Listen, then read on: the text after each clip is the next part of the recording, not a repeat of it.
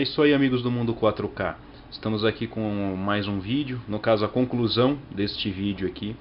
E eu quero falar um pouquinho sobre esse Atari. Vocês viram aí nas fotos aí que ele, ele tem uma característica bem, bem peculiar, né? É, apesar de ter uma carcaça Polivox, ter o sistema de fonte interna como o da Polivox, ele tem uma placa de um Dactar dentro dele, né? Tem, como nas fotos ali, não tem como é, negar, né? Dá pra ver até o logo da Milmar nele. É, é uma placa igual aquela do daquele Dactar que eu restaurei. Bom, como eu ainda não tinha mostrado como fazer o AVMod naquela placa, né, da, da, da, forma tradicional, então eu fiz neste equipamento. Ele também deu uma imagem muito boa, né, é, com, com o AVMod colocando o transistor e um, e um trimpote, né, fazendo aquelas modificações. O esquema elétrico eu disponibilizei aí no, no vídeo, né, mas se alguém precisar também é só entrar em contato que a gente manda por e-mail. Bom, é, esse Atari aqui, é, a, na verdade o que aconteceu com ele né, é, é uma coisa assim bem impressionante. Né? É, como vocês viram na foto, ele tinha um dissipador aqui no, no, no, no regulador porque no modelo da Dactar não vem aquele dissipador mais grosso igual do Atari. Mas o que eu entendo é que a pessoa que, que vendeu esse equipamento, ele deve ter mudado a placa, né, e vendido como se fosse um Polivox. Ele pegou, no caso, um, uma placa de um Dactar e colocou aí. Na época, né, é, era mais entre os preços, né, o, o, o Dactar era mais em conta do que o, o, da Polivox, né? Porque afinal de contas o da Polivox ele leva o nome da Atari, né? Então o original era esse modelo aqui. Então é, a pessoa pegou e fez, colocou a placa aí. Só que fez de mau jeito, né? Fez de qualquer jeito. Ele tentou copiar a forma que a, a placa da Polivox era ligada. Ou seja, puxando aqui do fio do transformador diretamente para a chave. Só que ele fez um serviço sinceramente porco. Né? É, ele não isolou a chave. Ou seja, um, um, um, lado da fase aqui, amigos, passava diretamente aqui onde é o, o positivo. Eu não, é, não sei como funcionou todo esse tempo o equipamento, né? Porque quando a gente, eu conversei com o dono dele que é o Bruno, e o Bruno fala, eu não tenho lembrança quando meu pai comprou esse Atari, eu era muito pequeno. Eu tenho lembrança de ver o meu pai jogar muito River Raid nele, mas eu não tenho essa lembrança, né?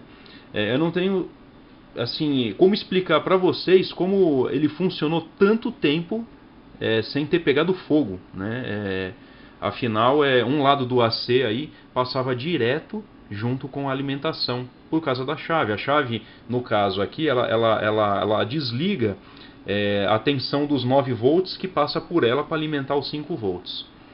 Pois bem, além de estar tá passando positivo, passava é, essa parte da fase. Bom, o equipamento chegou aqui nas minhas mãos, infelizmente com os três chips pifados. Não só os três chips pifados, como também o regulador pifado, né, e tinha problema no transformador. Do, do, é, na realidade, o, o, o que não fez pegar fogo esse equipamento foi o regulador. Aí chegou um momento em que ele não aguentou mais, ele abriu, e aí a corrente passou direto por ele, e como sai direto dele já passa diretamente nos três chips, né, no 6502, 65, é, 6507, 6532 e no TIA, eles foram né, pifados. Felizmente eu tenho aqui um jogo, eu tinha um jogo aí de CIs novos, acabei colocando e restaurei o funcionamento dele. E fiz né, a ligação da forma certa. Voltei o transformador aqui como ele tinha que ser feito, liguei aqui a alimentação da forma correta, o equipamento voltou a funcionar. Né? É, é uma, uma, uma questão né, da época, a gente via que na época as pessoas para tentar ganhar um dinheiro a mais ou vender o equipamento de uma forma aí, muitas vezes acabava fazendo é, esse tipo de, de modificação. Né? Logo que eu vi o equipamento, eu notei que as chaves eram pretas, né? falei, aqui tem coisa errada. Não saiu, nunca saiu um modelo da Atari com chaves pretas, né? Ou poderia ser uma personalização. Mas já logo de cara eu já percebi que, que não era uma placa Polivox, né? É, pelo fato também da forma que as chaves elas ficam, né? Elas, ela, ela, ela, ela, a uso da, da guitarra ela tem um, uma jogadinha mais é, mais lenta, né? Quando você muda aqui, né? no caso aqui, ó, você vê que ele dá, ele dá uma, uma, uma, prendida. Isso é muito comum dos Dactares. Né? Então quando eu peguei aqui que eu notei, e também quando ele está desligado, a forma que a chave fica deslocada muito para baixo, eu falei, é um Dactar que está aí dentro. Né? E quando eu abri, eu já percebi que era o mesmo. Porém, como as placas são bem iguais, e eu já mostrei isso num outro vídeo, né? era fácil aí de, de, de estar sendo colocado. Né? Então agora eu quero mostrar para vocês aqui o funcionamento do equipamento. Né? Ó, tá aqui. Olha que legal. A imagem ficou muito boa, né? Olha só. O áudio também ficou muito bom. O Bruno vai aproveitar bastante esse equipamento, né? É um equipamento aí que, que eu acredito que agora vai durar bastante tempo com a revisão que a gente fez, né? E os CIs também colocados aí, novos, então é foi uma, uma, uma, revisão e um conserto bem sucedido mesmo, né? A imagem ficou muito boa, né? Isso daqui é, é, é, pelo, pelo conjunto dos CIs também. Né? Eu procuro aí quando estou é, tendo que substituir é, um, um TIA ou um Riolt, né, ou até mesmo um 6507, eu procuro tentar substituir para um conjunto que os três funcionam numa harmonia bem melhor, porque é, os componentes às vezes são de fabricantes diferentes, né, e aí pode dar alguma diferença, eu já notei algumas diferenças sim. Então é, eu procuro sempre estar tá colocando é, um tipo de CI que ele casa bem né, os ajustes, que o, ajuste fica mais ou menos igual de fábrica. Né?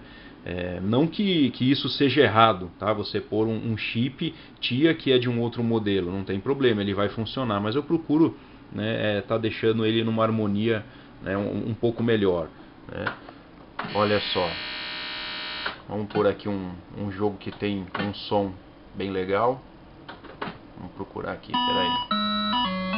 Olha que legal. Né? Então o som também ficou muito bom, ficou em estéreo. Né? Ele vai aproveitar bastante. Né? Olha só, as cores bem vivas. Né? Olha que legal. A jogabilidade também ficou muito boa.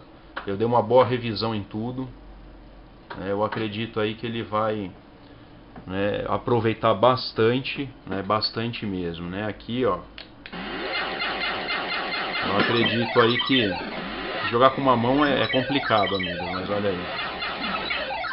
É, outra coisa que ele me falou é que ele tem lembrança do pai jogando o River Raid. Eu perguntei para ele se ele tinha lá o cartucho do River Raid e ele falou: Olha, não tenho mais esse cartucho, tudo.